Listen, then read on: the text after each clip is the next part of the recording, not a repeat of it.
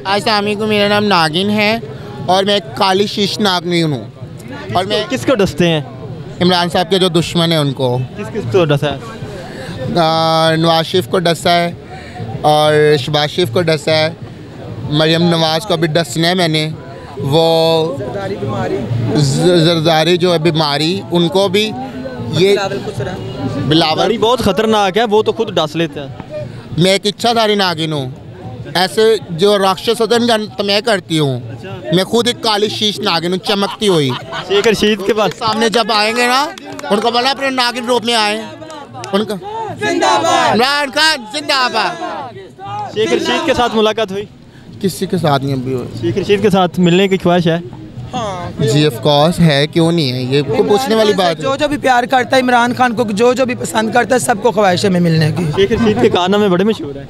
शेख रशीद अच्छा इंसान है। आपका शेख रशीद के हवाले से एक लफ्ज़। मैं तो मेरा ID ID card Imran Khan के दो- टाइम में आया और मैंने वोट भी इमरान खान को दिया और मैं किसी को नहीं जानती। अगले इलेक्शन में वोट किसको देंगे? इमरान खान को फिजिकली आप किसको वोट करेंगे? इमरान खान किसी दहर्द को खड़ा कर देगा ना इमरान खान टिकट किसी दहर्द को खड़ा कर देगा हम उनको वोट देंगे। हम खान साहब के नज़रिए के साथ हैं। क्या क्या नज़रिया जो आपको सबसे ज़्यादा अच्छा लगता है?